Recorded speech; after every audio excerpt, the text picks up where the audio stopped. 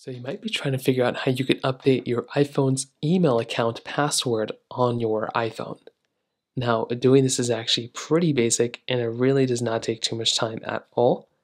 So to get started, what you're going to want to do, there's a couple things you can do here. Number one, if you want to go and update your email password, you can do this by going inside of your iPhone settings application just like this. You then want to go through and you want to go ahead and basically scroll down until you find this little option that says account. So go to your mail app, actually go into your mail option. So you can scroll down until you find mail. It might be inside of this new apps panel. So click on here and you should be able to find that mail application. So once you find it, you want to go ahead and basically tap on it. So right here is mail and you'll be able to find all your mail accounts that you basically have. So what you want to do is you want to go ahead and find that account. So you can go ahead and click on mail accounts right up here.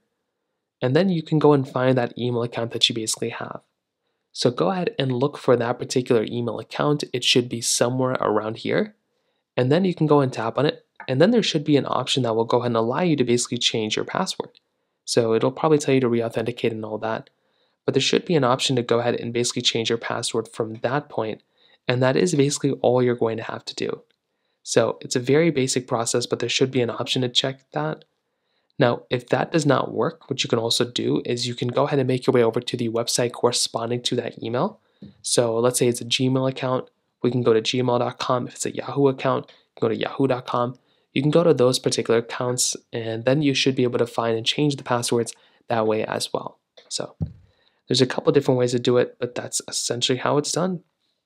If you have any other thoughts or questions, please let me know in the comment section below. Hit the like button, that will mean so much, but definitely hit that subscribe button.